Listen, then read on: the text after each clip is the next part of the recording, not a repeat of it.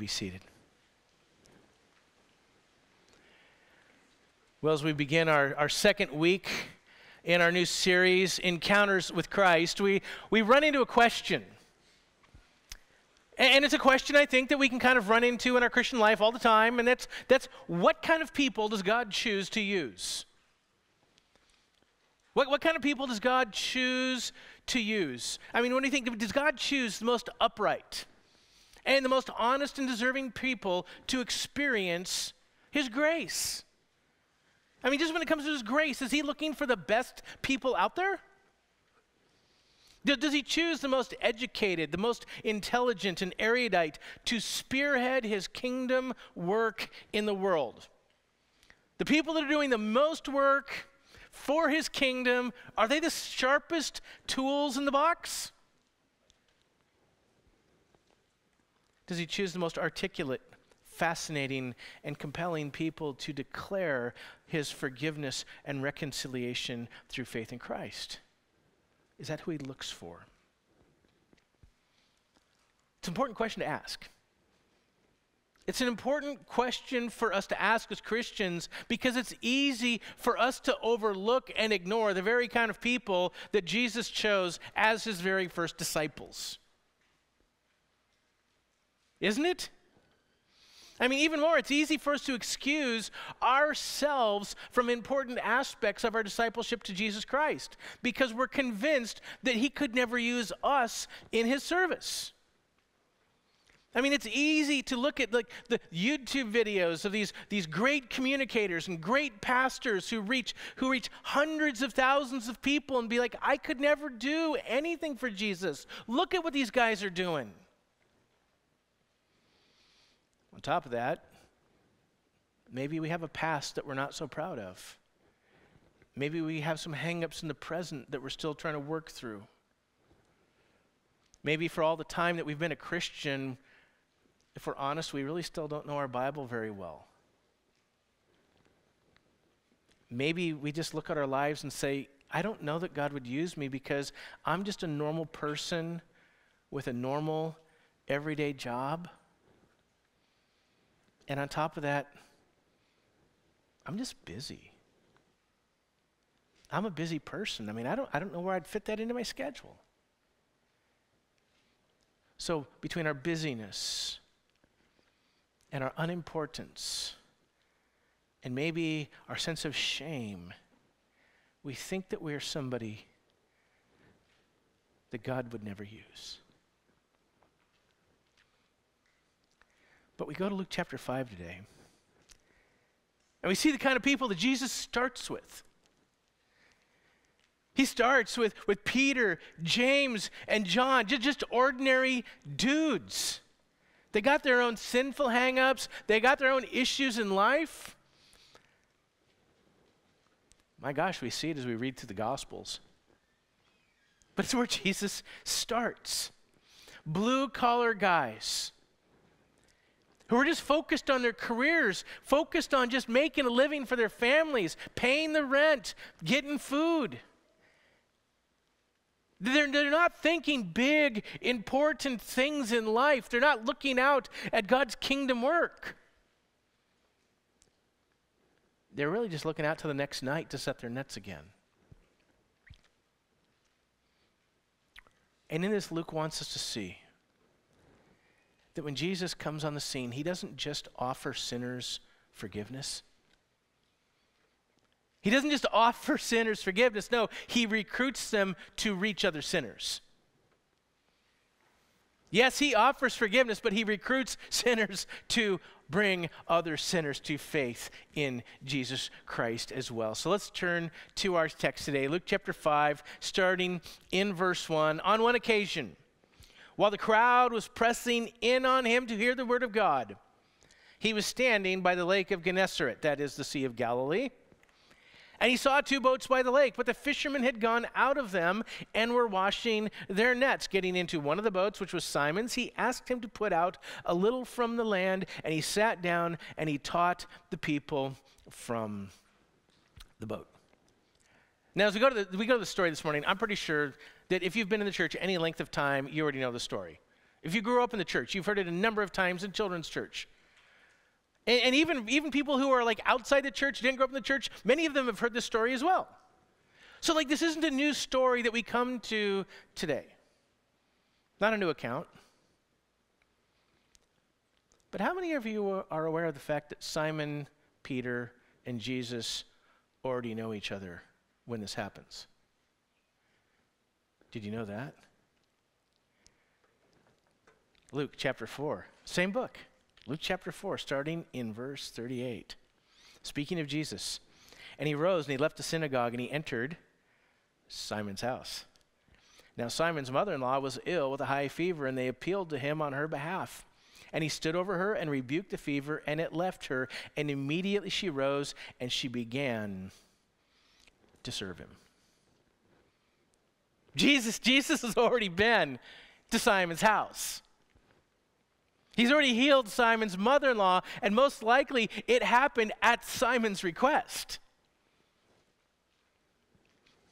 In fact, this previous interaction helps us grasp why Simon, a fisherman, would so quickly give in to Jesus' request for a little boat ride after a long, hard night of fishing with no fish in the nets and fish nets to be cleaned. I can tell you, there is not much more of a grumpy person to be around than a commercial fisherman who has caught nothing. Backhaul is not fun. It's tedious, it's laborious. And when you have nothing to show for it, it is frustrating. Yet Simon says yes. And this helps us see that Jesus, Jesus here isn't just stumbling on a random group of fishermen when, when he goes out teaching that morning by the side of the lake. No, no, as we're going to see, Really, really, what's happening here is Jesus has been fishing for Simon before this account ever began. Jesus has been on a fishing expedition of his own long before he stepped in Simon's boat. In fact, we see this emphasized as we're going to read through this dialogue this morning because Luke doesn't bother telling us what Jesus taught. Notice, he doesn't say not a thing about the kingdom, not a thing about the gospel all of the dialogue in this passage is between Peter and Jesus. That's it. But this fact really doesn't come to clarity that Jesus and Peter are the center of the story until the carpenter tells the commercial fisherman what to do. In, fact, in the original Greek, Jesus gives a command. I mean, I mean just, just, just think about it. He's giving a command. Verse 4 When they had finished speaking, he said to Simon, Put out into the deep and let down your nets for catch. And Simon answered, Master, we toiled all night, and we took nothing, but at your word I will let down the nets. See, see, Jesus isn't asking Simon for permission. He's not saying, hey, let's just go try another time. Let's just see what, let's, let's just try it one more time. That's not what he's saying. In the Greek, it's an imperative. He's giving Simon instructions, the pilot of the boat, it's time to head out. And the second imperative is actually to the crew. It's in the plural. Put down the nets. You guys, put down the nets. I mean, Jesus has just taken charge of the fishing expedition. He's issuing crews to both Simon and his crew. Now, let me just tell you I mean, I, I, lived in a commercial fishing port for 18 years. Kodiak, Alaska, large fishing port, interacted with tons of fishermen and captains. And, and I can tell you that the captains rule, rule their ships with an iron fist. They don't let anything go. And there's probably no quicker way for, for a landlubber or greenhorn to get thrown off a boat than to tell a captain or his crew what to do. I mean, I mean, there were stories. and I mean, these aren't just like made-up stories. They actually happened. There would be times that you'd hear of people that got left at the most remote cannery. Like captains would just put them off their ship. They'd stop into port, they'd offload their haul, they'd offload a crew member they didn't want anymore, and be like, find your way home. They get back to sea. I mean, that, that's normal stuff that could happen. Yet Peter gets direct commands from Jesus.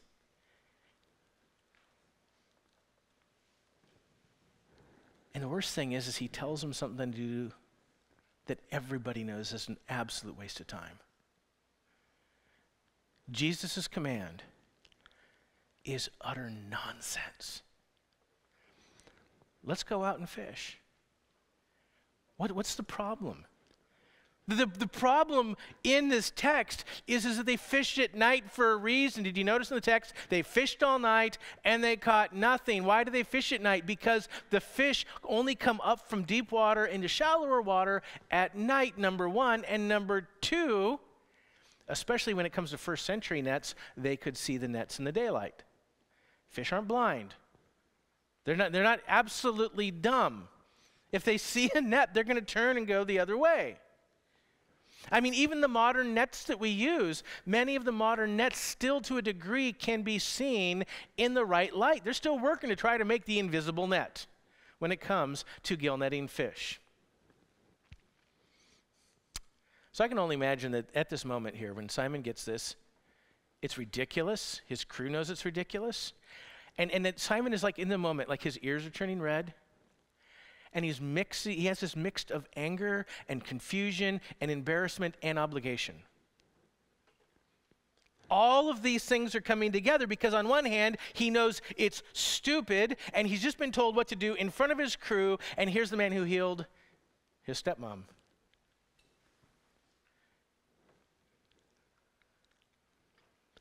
Which is why I think that Simon responds in such a balanced manner. When we get to his response Master, we toiled all night and we took nothing. I think, I think he's giving the best, the best turn of a phrase he can give in the moment. Master, we worked all night, we took nothing. But then we get the second half. But at your word, at your word, I will put down the nets. And, and it's really, really at this point of the account that we, we start to hear two voices in Simon's reply. They're both his. Two voices in Simon's reply. One is the voice of the professional commercial fisherman, and the other voice is that of the fledgling disciple. Two voices. Yeah, Simon knows. He knows from experience the futility of fishing, fishing after sunup, and he reminds Jesus about it. Sun's up. The time for fishing is over. What do we do at this time of day? After we're done with our nets, we go home and we take a nap. That's what we do now. We're exhausted. We just want to go home. But on the other hand, Simon's final word isn't actually anchored in his years as a commercial fisherman. It, it, actually has nothing to do with his commercial fishing experience at all. He knows it is a worthless endeavor but on the authority of Jesus, who at this moment he appears to be trusting more than he trusts his years of experience. And that for Simon, as it is for believers of all time, is what the Bible calls faith. That's what we see in Simon's answer. We see faith. Now, now is this a perfect, full-orbed faith? Oh no. No, it's a, it's a crumpled, wrinkly, imperfect, partial faith, but it's there. There is faith in Peter's voice. And what is this thing that we call faith? We, we go to Hebrews chapter 11, verse 1. Now, faith is the assurance of things hoped for and the conviction of things not seen. I want, I want you to see that because I think we have a lot of difficulty defining what we mean by faith. Faith is not a blind leap into the unknown darkness. That is not faith. It's not a blind leap. Faith is not built on fairy tale wishes. Faith is not some foolish hope that we've invented in our own minds and we just think it sounds good. No, according to the writer of Hebrews, faith is a reasonable decision It's a reasonable decision to act out of deep seated confidence with hope that this unseen promise is both trustworthy and true. Remember, back back to Hebrews. Faith is the assurance of things hoped for. It's assurance. It's a conviction of things not seen. And, and as we read through God's word, it's, it's always built on those things that God has already done. That's why it's reasonable. That's why there can be assurance. That's why there can be a conviction, is because we've already seen the things that God has done. He's proved himself to be trustworthy. Therefore, he will be trustworthy again. And has Jesus already done something that Peter's seen? And the answer is yes. Has it been fish? No. So, this helps us see that when Peter agrees to let Jesus give the orders, he's not just being passive. He's not just simply trying to humor Jesus. He's actually trusting that Jesus' plan is going to produce some kind of catch. Now, what kind of catch Peter's expecting, I don't know. Maybe we're going to catch three fish, the blind ones, right? We'll catch the dumb ones. He doesn't expect the kind of catch that they get. He gets a catch he never bargained for, verse 6. And when they had done this, they enclosed a large number of fish, and their nets were breaking. That's significant. They singled the other partners, and the other boat came out to help them. And they filled up both the boats so that they began to sink. Now, now you got the catch, you got the nets are breaking, the fish they're getting in out of the breaking nets are sinking the boats that are putting the catch in. Peter definitely got more than he bargained for. You know, and I, I, I can be honest, like, I mean, I can understand this adrenaline and excitement of Peter and their crew. I mean, I mean, anybody who's ever just gone fishing, rod and reel, knows how exciting it is to have that tip just bend over, the drag to be screaming. But it's an entirely different issue when you have nets out. They explode when the fish hit them, water splashing all over, the nets bouncing up and down. It's amazing. It's a treat that few people get if they haven't been out fishing like that. We, we actually had, I mean, I, went, I was a commercial fisherman for three months in my early 20s. It's, it's definitely a young man's game. But I was out there and we, we, had, we had one catch. We had, this, we had a really large catch. Now, it wasn't miraculous. But we brought in, we had five ton of fish come in in one net. I mean, it was so full. We had two panel nets that were sewed together. We were having to cut between the panels to get the fish into our boat. And then at the end, it took me three hours to shovel them down the hold, knee deep on a 54 foot fishing vessel in fish. Amazing. So, so like, like, I mean, I can kind of see this just a little bit. So there's excitement I can understand the excitement. It makes absolute sense. But what doesn't make sense in this text is how Peter responds to the catch. Peter's response doesn't fit the environment. Thank you, Jesus. This is awesome, Jesus. Jesus, can you get us to shore? right? But no, how does he respond? Verse 8 But when Simon Peter saw it, he fell down at Jesus' knees, saying, Depart from me, for I am a sinner, O Lord. For he and all who were with him were astonished at the catch of fish that they had taken. And so also were James and John, sons of Zebedee, who were partners with Simon.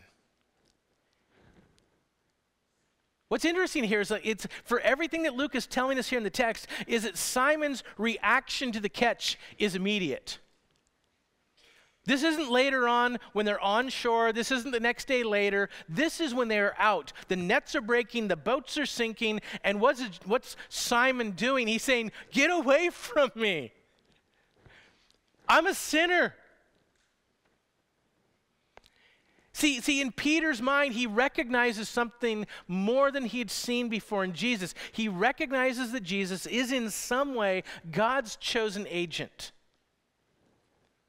Because not only because only God could cause such a miracle to occur. See, for a man who knows his business, he, this, this, this, this, is, this is a miracle. There is no way this can happen. There is no way, apart from God causing it to happen, that this would happen.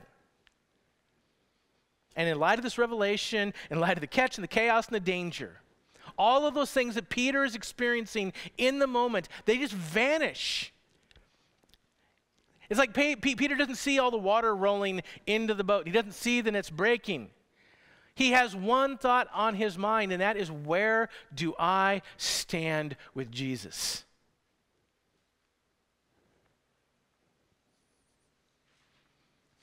I was reading this week on this passage, and I, I love what Tim Keller had to to say about this. He said, What we learn from this passage is, is that when people experience Jesus Christ for the first time, they truly experience Him. They experience what, what we might call a self quake. You know, it's like an earthquake, except it's not, it's not the earth that's in upheaval, it's actually our identity. When we really see Jesus, everything on the inside, so how we see ourselves, starts to just unravel and come apart. I mean, on the one hand, we can think about it in everyday life. We've had the experience, we're at work, and maybe, maybe we've just thought like we're a person who's really smart or really competent at our job, we're doing all of our things, and then some new person comes in, we're assigned to work with them and find out that they exceed our knowledge and experience by light years.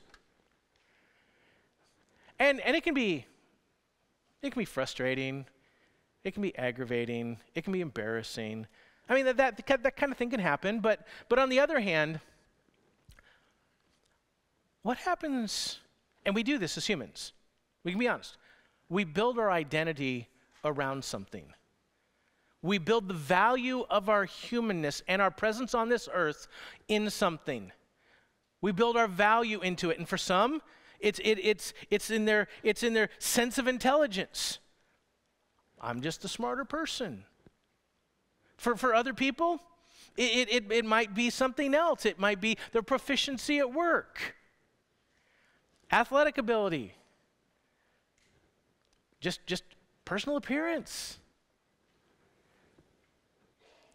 For some, it could be their view that they're a rock star homeschool mom.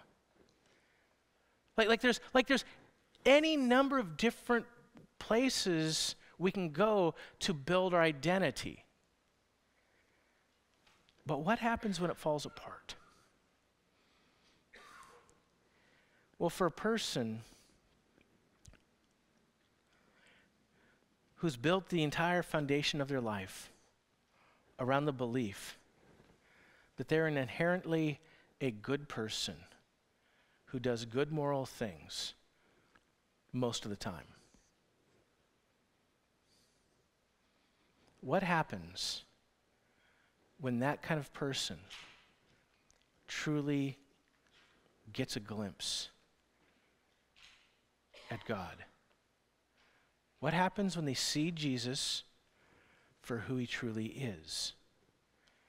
If, you if your entire world or a major part of your identity is built on the fact that I'm okay, I do good stuff. I'm way better than everybody else around me. I'm a pretty religious person. I go to church at least twice a month.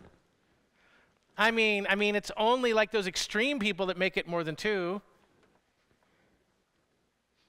I do most of the stuff in the Bible that I can remember.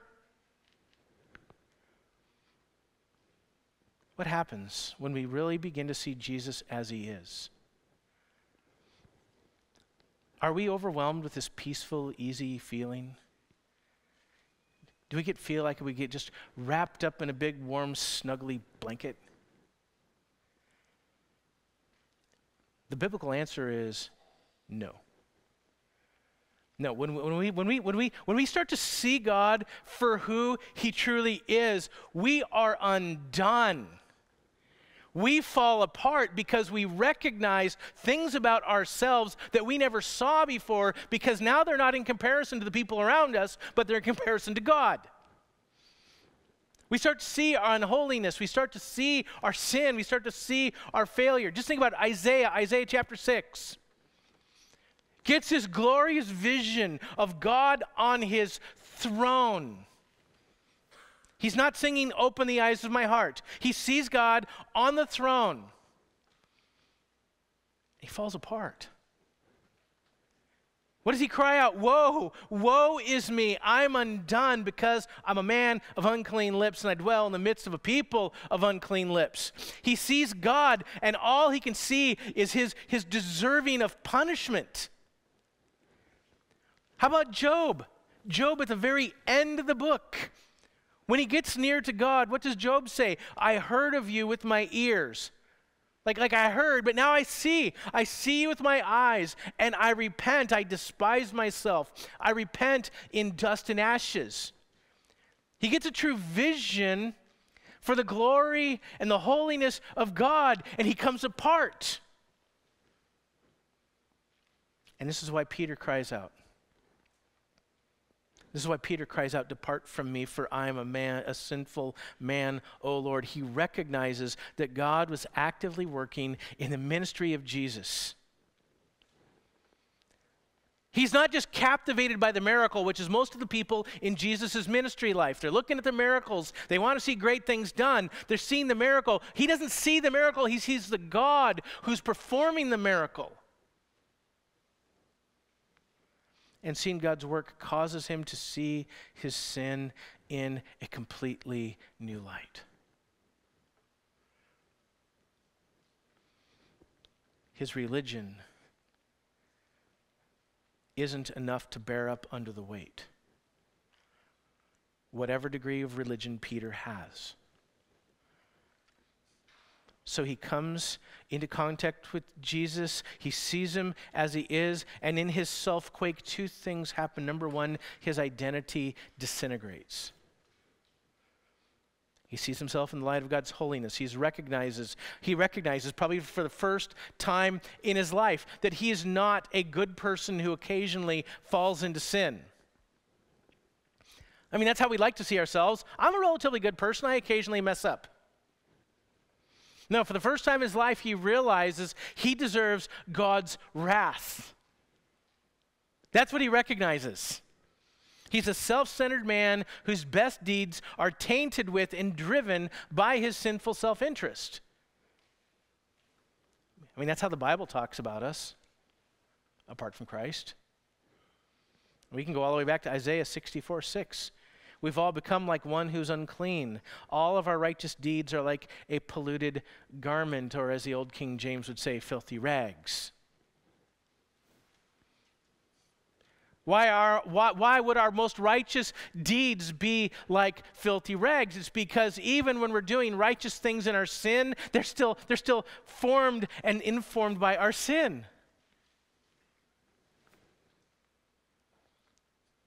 Number two.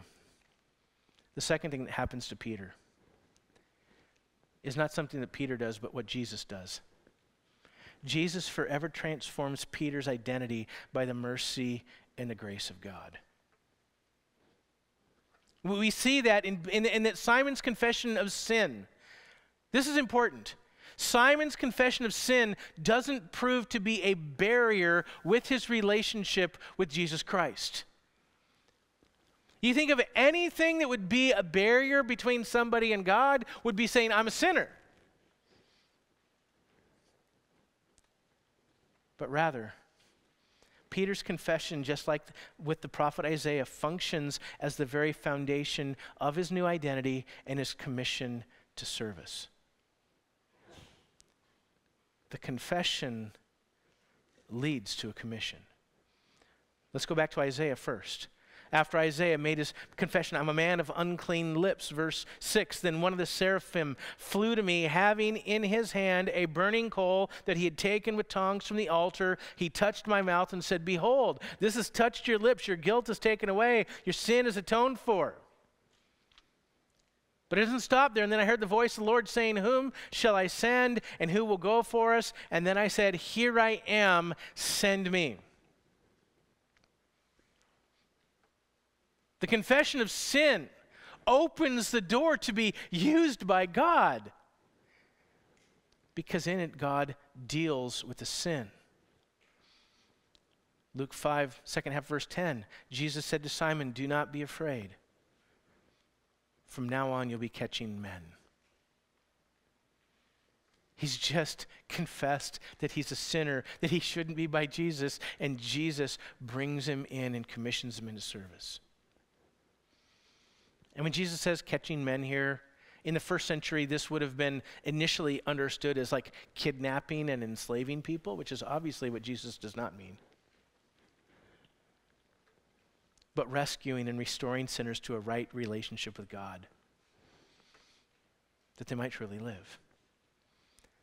That, that's, that's, that's the calling that Peter's being brought into. And who's better suited for the task? Who's better suited for the task of reaching sinners with the good news of forgiveness and restoration to God but sinners, which is who Jesus chooses to use? I mean, I mean, it's really interesting here that Jesus is grabbing this group of blue collar dudes out of a fishing boat and what he's not saying is like, you know, I'm really into spiritual work and doing religious things, and you guys are a bunch of blue collar guys. Let me help you with your private spiritual lives a little bit, but like I, I, need I need to go find some like, you know, religious people to help me out. It's not where he goes. And in this case, we can see that Jesus didn't come to drive sinners away from his holy presence, to, but to draw them into the net of his saving grace. He didn't come to drive sinners away, but to draw them up into his net of saving grace. John 3 17. For God did not send his Son into the world to condemn the world, but in order that the world might be saved through him. He didn't send his son to condemn the world. No. 1 John 4 9, and this is the love of God was manifest among us. God sent his only Son into the world that we might live through him. And this is love, not that we've loved God, but that He loved us and sent His Son to be the propitiation for our sins. What? When we weren't loving God and we didn't care about God, when we were doing our own thing, God sent His Son. He didn't look around the world and go, hey, look, there's enough people who are looking for me and trying to do the right thing. No, when we were sinners, when we were enemies, Christ died for us. So, how do Simon and his crew respond? Do they ask for a couple weeks to think about it? I mean, most of us, when we get a job offer, we're like, you know, let me sleep on it. Give me a couple days. Give me a week or two.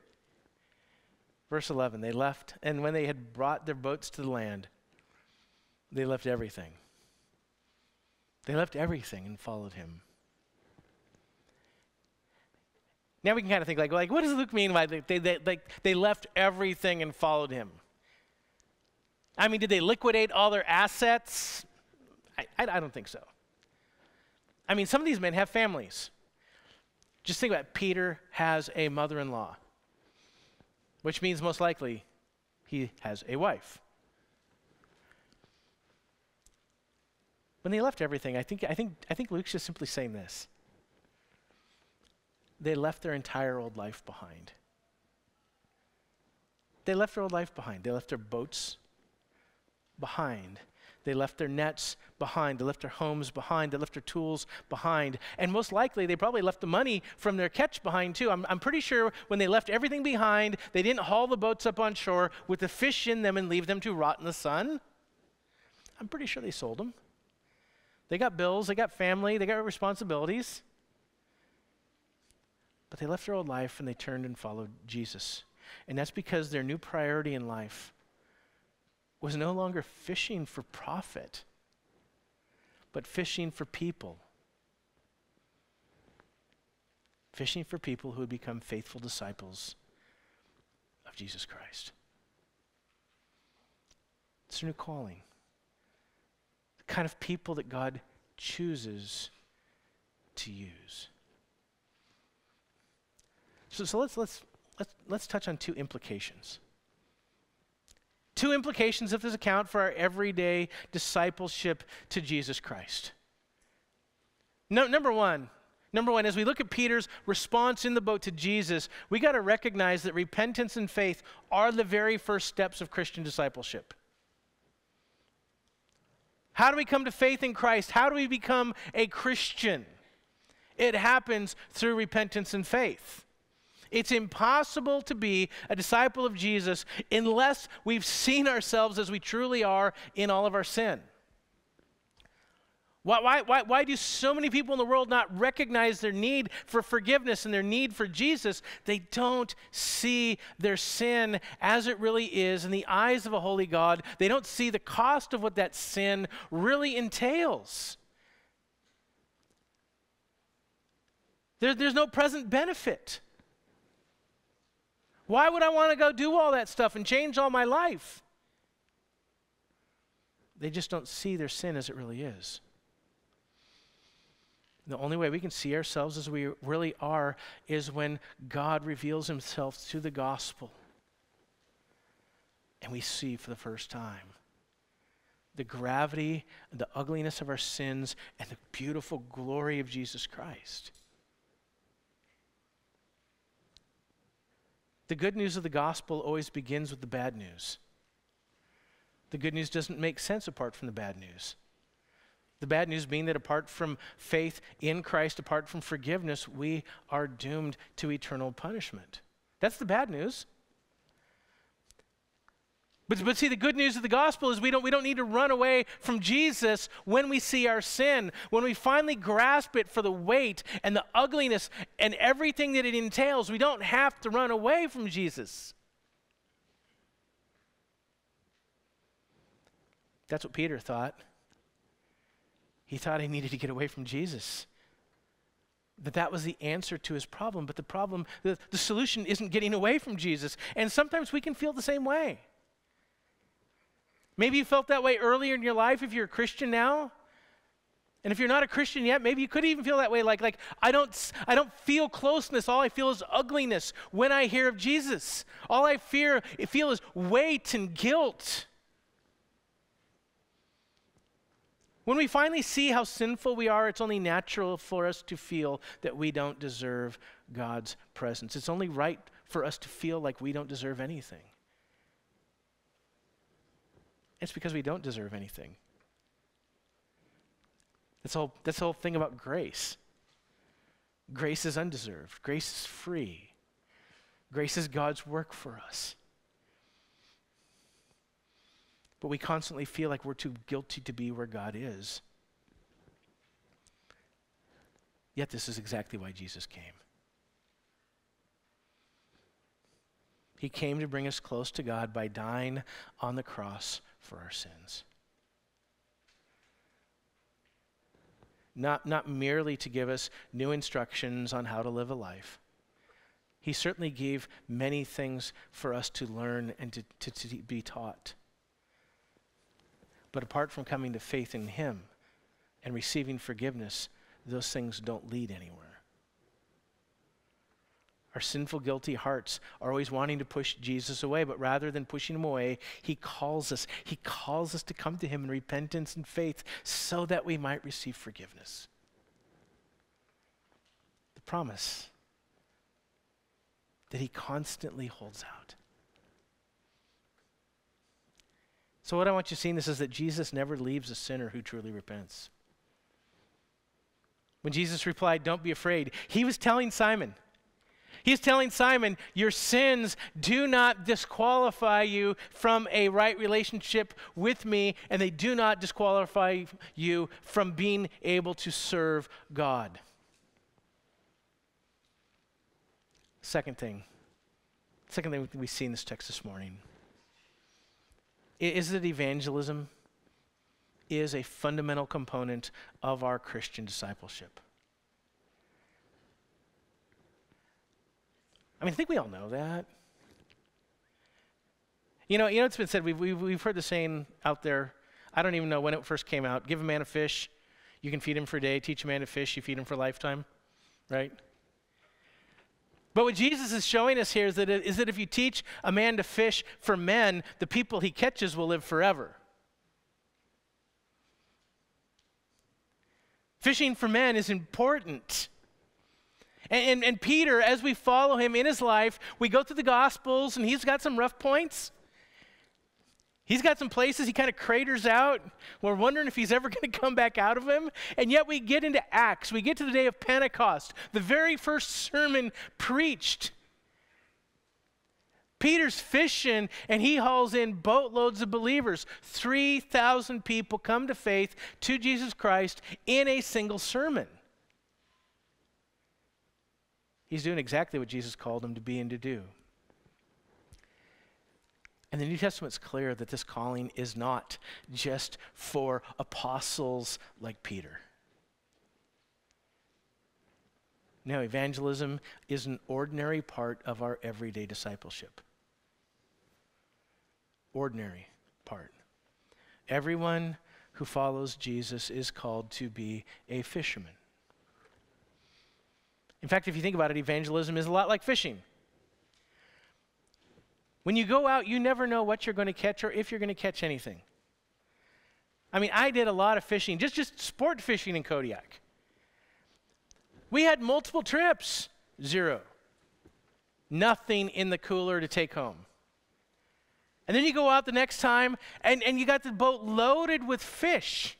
You never know what you're going to catch. Evangelism is the same way. I mean, just, just I mean, like, like avid fishermen do not stop fishing after their third trip of not catching fish. They think through everything they were doing. They look at their tackle. They do all sorts of things, planning out, replanning where they're going to go, but they're going to catch some fish.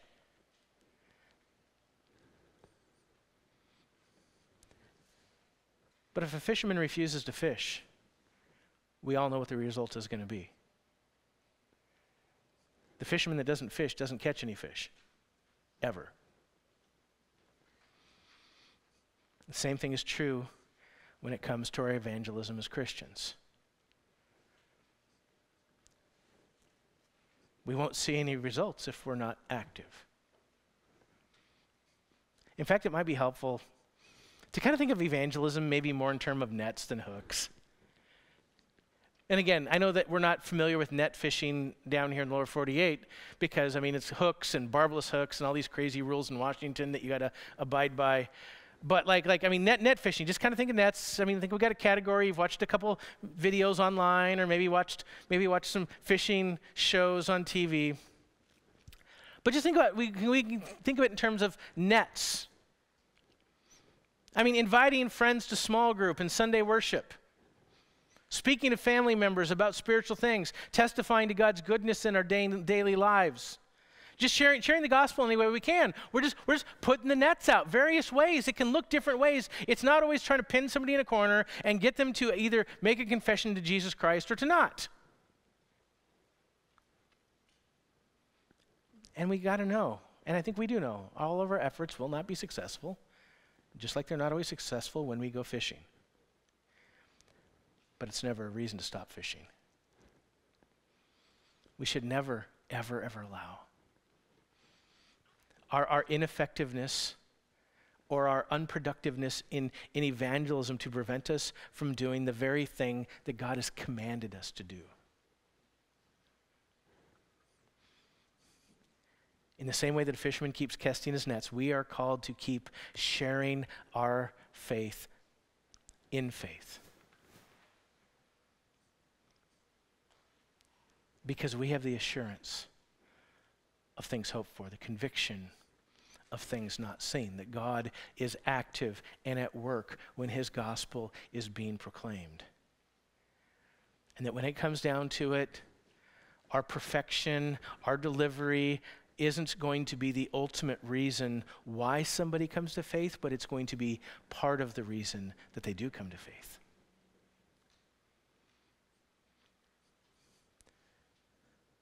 What God requires is our witness. It's His business, and it's our business to be fishers of men.